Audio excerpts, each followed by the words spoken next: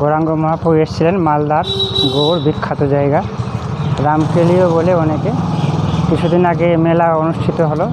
প্রত্যেক বছর এই সময় অনুষ্ঠিত হয়। তো এই জ্যৈষ্ঠ মাসের সংক্রান্তিতে মেলা শুরু হয় কয়েকদিন থাকে। অনেক ভক্ত ভিড় করে।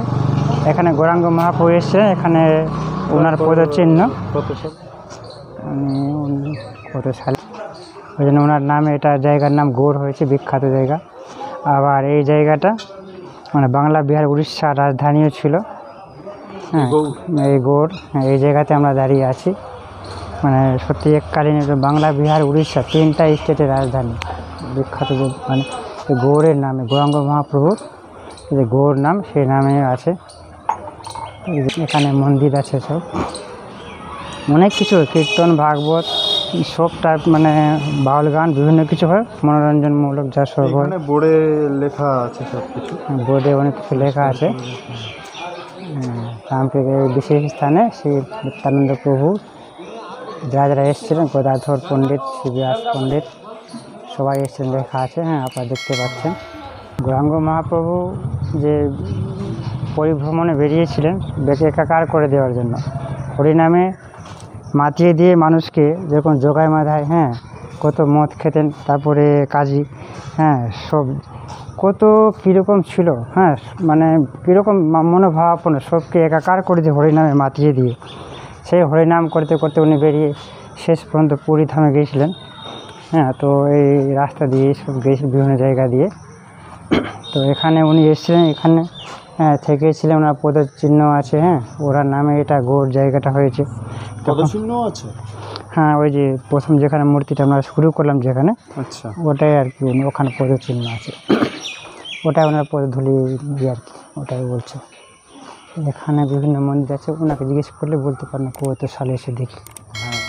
যদি যদি বলতে পারেন যদি। কিছুদিন আগে এখানে অনুষ্ঠান হয়ে গেছে কিছুদিন আগে। সব পরিষ্কার পরিচ্ছন্ন হচ্ছে।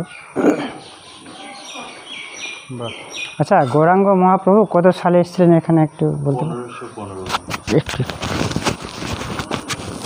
একটু বলুন একটু সারা বিশ্ব আপনাকে দেখবে একটু। ওনার সম্বন্ধে একটু বলুন ভালো হবে। যোগী কোথা চ্যানেল থেকে আছে এই জায়গার মাহাত্ম বলব নাকি? গৌরাঙ্গ মহাপ্রভু কবে এসেছেন সেগুলো সব কিছু বলুন একটু বলুন। এই জায়গার নাম রামকেলি ধাম।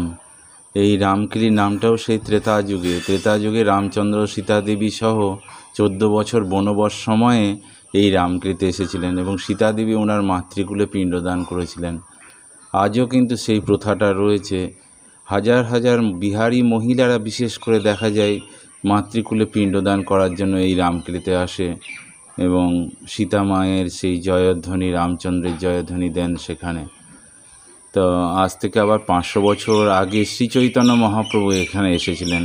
এসেছিলেন তখন গৌড় ছিল রাজধানী, বাংলা, বিহার, উড়িষ্যার রাজধানী, এই গৌড়। গৌড়ে পূর্বে কিন্তু বহু হিন্দু রাজরাজারা রাজত্ব করে গেছেন, লক্ষণ সেন, বল্লাল সেন, শশাঙ্ক, পাল রাজরাজারাও রাজত্ব করেছেন। কিন্তু শেষে সুলতানি যুগে এই গৌড়ের শাসক ছিলেন হোসেন শাহ। সেই সময় গৌড়ের যে হোসেন শাহ দুই হিন্দু মন্ত্রী ছিলেন, রূপ গোস্বামী, সনাতন গোস্বামী নামে যারা পরিচিত ওনাদের বাসস্থান ছিল এই দক্ষিণ ভারতের কর্ণাটকে। সেই সময় সুলতানরা জোরপূর্বক ধর্মান্তরিত করার এতেই ওনারা এই পূর্ববঙ্গে এসে আশ্রয় নিয়েছিলেন। মালদার মাধাইপুর মোড় গ্রামে তারা মামার বাড়িতে থেকে টোলে শিক্ষা নিতেন। এত পণ্ডিত পারদর্শী জ্ঞানী ব্যক্তি হয়ে উঠেছিলেন যে গৌড়ের শাসক তাদেরকে উচ্চ পদে চাকরি দিয়েছিলেন। একজন অর্থমন্ত্রী, একজন প্রধানমন্ত্রী পদে। বারবার এই রাজকার্য থেকেই ওনারা পত্র লিখতেন শ্রী চৈতন্য মহাপ্রভুকে, কি করে উদ্ধার পাবেন এখান থেকে? ওনাদের পত্রের আহ্বানে শ্রী চৈতন্য মহাপ্রভু ইংরেজি পনেরোশো পনেরো খ্রিস্টাব্দের পনেরোই জুন এই রামকেলিতে পদার্পণ করেছিলেন।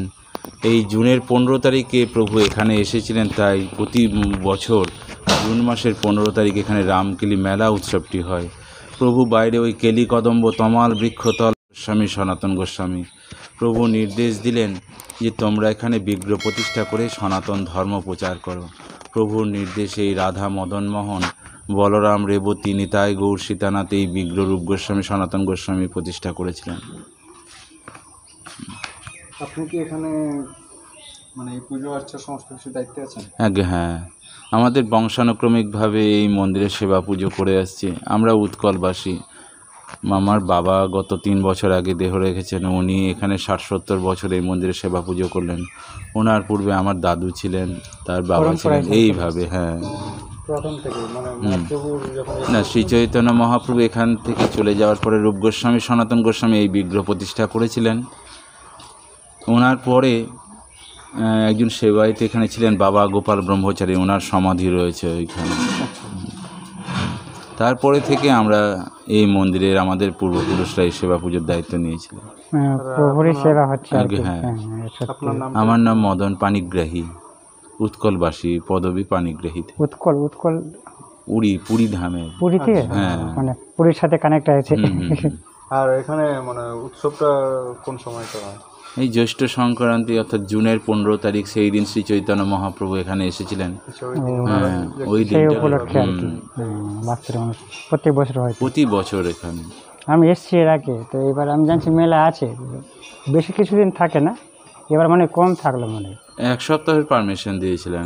হ্যাঁ কাছে border Bangladesh border export import সব বন্ধ রাখতে হয় সরকারের। এত লক্ষ লক্ষ লোকের সমাগম হয় এই রামকলিতে। সরকারি ইনকাম বন্ধ করে চলবে না। সরকারি সব না না